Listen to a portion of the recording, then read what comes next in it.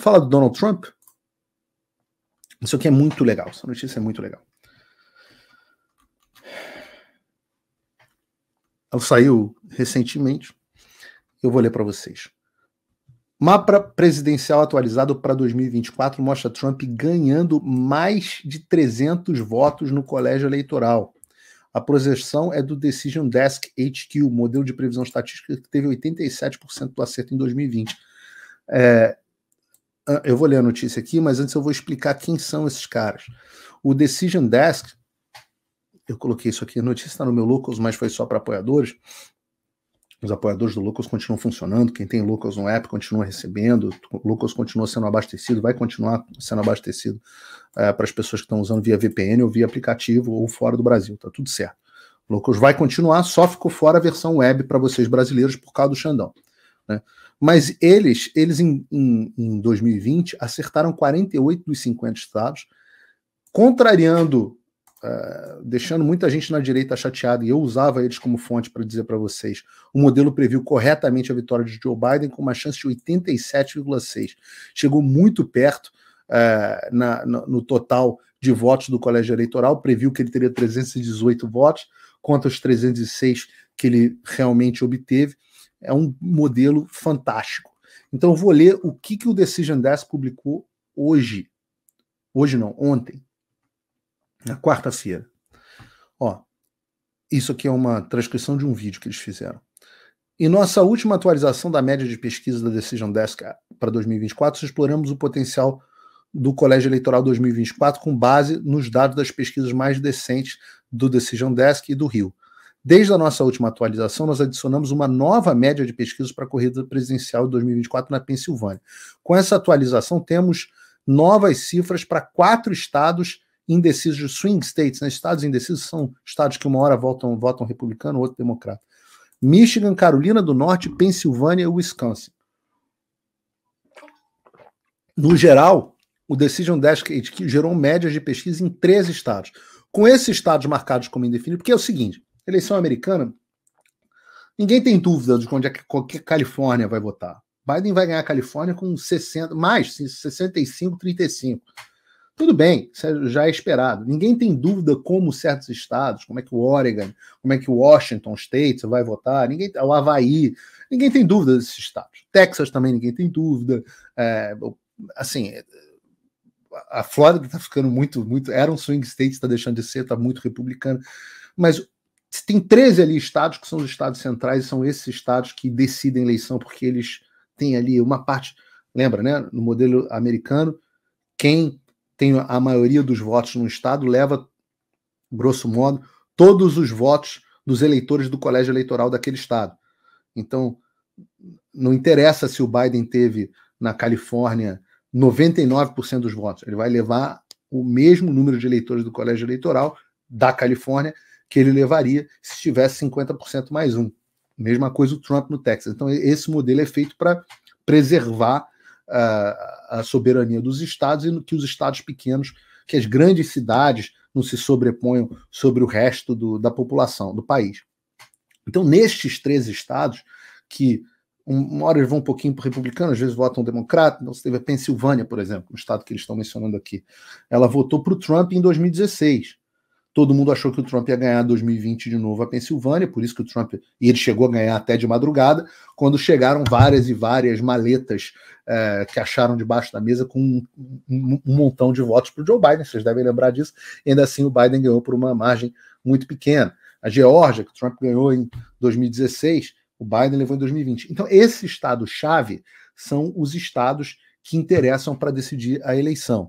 Oi, eu vou ter que parar o vídeo só para te atualizar. A perseguição implacável continua. Desde dezembro de 2022 eu continuo sem passaporte, com as contas bancárias bloqueadas, redes sociais banidas no Brasil e muito mais.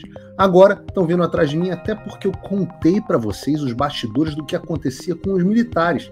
E a novidade é que o Locals, onde muitos me apoiavam, fechou o acesso aos brasileiros por conta do STF. Então criei uma nova forma de você me apoiar diretamente. Você pode ser agora meu apoiador com uma pequena quantia por mês e ter acesso a vários conteúdos exclusivos, ou você pode agora também ser o meu patrono e passar a integrar comigo o meu grupo de elite, um grupo fechado de WhatsApp só para os patronos, além de fazer reuniões de Zoom mensais comigo para a gente discutir a situação do Brasil e do mundo. Se você quer que eu continue fazendo o meu trabalho, me apoia, use o link na descrição e eu garanto que eu vou continuar fazendo a minha parte. Muito obrigado. É, e, e, e, ganha né, a eleição quem tiver 270 votos no colégio eleitoral. É, na Califórnia, a vantagem do Biden é estável, 18,7% de vantagem, sem novas pesquisas desde o início. Biden venceu a Califórnia por 29 pontos em 2020 só a queda de 29 para 18,7 é bastante. A grande vantagem nas pesquisas para o Biden garante os 54 votos eleitorais na Califórnia, o maior de qualquer estado, a Califórnia é o estado mais populoso dos Estados Unidos, uh, firmemente para os democratas. Em Nevada, um estado, e eu estou aqui fazendo um panoramão da eleição americana, tá? Que vocês me pedem muito. Em Nevada, um estado indeciso em 2024, os republicanos estão mirando essa corrida nos últimos anos. Lembrando que o Trump está fora da cédula de Nevada, ah, dependendo da, da decisão da Suprema Corte. A liderança de Trump permanece de 5,6% com base em 16 pesquisas. Isso seria uma mudança significativa para o campo de Trump se, se fosse mantida, porque Nevada já era um estado que nem era muito considerado swing state, mas as pesquisas estão mostrando o Trump na frente até em Nevada, que era uma coisa meio impensável. No Arizona, a vitória do Biden por, de 3% em 2020, está errado isso, não foi 3%, marcou a primeira vez que um candidato democrata ganhou a, a, o Arizona desde o Bill Clinton. Foram 10 mil votos, não pode ser 3%. Posso estar enganado. Não houve novas pesquisas. A liderança de Trump permanece de 4,6% com base em 26%. Em 23 pesquisas, perdão. No meio oeste, Iowa e Ohio continuam a ter forte inclinação em favor do Trump. Sua liderança permanece exatamente a mesma em 10,9% de 10,9% com base em sete pesquisas em Iowa e 11,4% em Ohio, com base em oito pesquisas. Na região do Rusty Belt, Cinturão da Ferrugem, o Wisconsin, Michigan e Pensilvânia, que foram todos para o Trump por menos de um ponto em 2016, depois voltaram a favor do Biden, margens muito estreitas em 2020, né, são decisivas nas eleições, é, votaram no mesmo candidato um do outro nas últimas oito eleições presidenciais desde 88. Em Wisconsin, uma pesquisa recém-lançada da Marquette mostrou Trump e Biden empatados, com 49% cada. É a segunda pesquisa, é, pesquisa consecutiva mostrando uma corrida acirrada, reduzindo a média de Trump de 2,5 para 1,7, ainda está com vantagem. No Michigan, a nova pesquisa Fox News mostra o Trump lidando com, lutando, liderando Biden por dois pontos. Na Pensilvânia, Trump lidera por três pontos. Moral da história: com cinco estados restantes como indefinidos no mata, há 79 votos no colégio eleitoral em jogo. Donald Trump já tem 250 votos eleitorais para o seu nome. Ele poderia ultrapassar 270 apenas com a vitória na Flórida. Não tem a menor chance do Trump perder na Flórida. As regras eleitorais aqui são muito difíceis de ter fraude. É, a, eleição aqui é moralizada. Joe Biden, por outro lado, está muito atrás, com 209 votos nesse mapa eleitoral. Em New Hampshire, onde o Biden foi vitorioso por 7,5 pontos em 2020, a sua liderança permanece em 6,2 com base em oito pesquisas. Permanece um estado democrata. Mesmo Virgínia, o Biden tem 4,1 com base em 10 pesquisas. Na Carolina do Norte, o Trump liderando o Biden por 7,9. É, na Geórgia, na Flórida, o Biden precisa de um, de um milagre nesses dois estados para chegar a 270. O Trump está com 266 agora, contra 226 do Biden.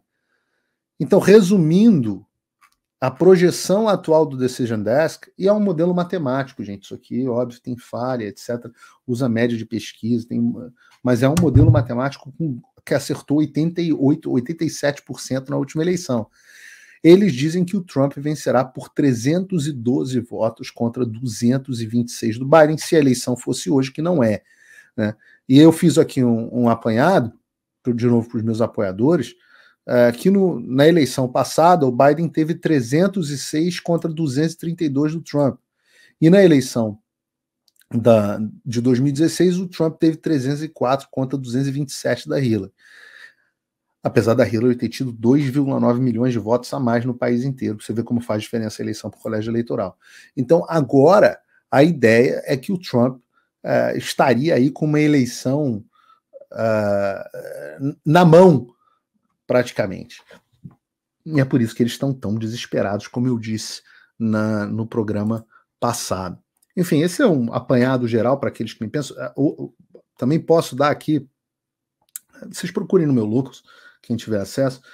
Trump saiu uma pesquisa na quarta-feira, dando o Trump com nove pontos de vantagens na questão nacional. E também vale chamar a atenção que isso é muito interessante, eu vou já até traduzir um pouco das implicações para o Brasil, que é o mapa uh, da projeção deles para o Senado. Hoje, os democratas têm maioria no, no, essa é a casa, né? O, o Congresso. Eu vou para o Senado. Hoje os democratas têm maioria para o Senado. O modelo do Decision Desk está dizendo que com as eleições os republicanos devem passar a ter maioria no Senado. E se vocês olharem aqui a diferença do gráfico, como os democratas caíram, os republicanos têm uma chance de 60% de terem maioria no Senado. Quando você vai para a Câmara, a situação é muito impressionante, porque hoje os republicanos têm uma maioria muito pequena, acho que são seis ou sete deputados a mais. Uh, a previsão do Decision Desk é que os republicanos têm 80% de chances de manter a maioria, tá?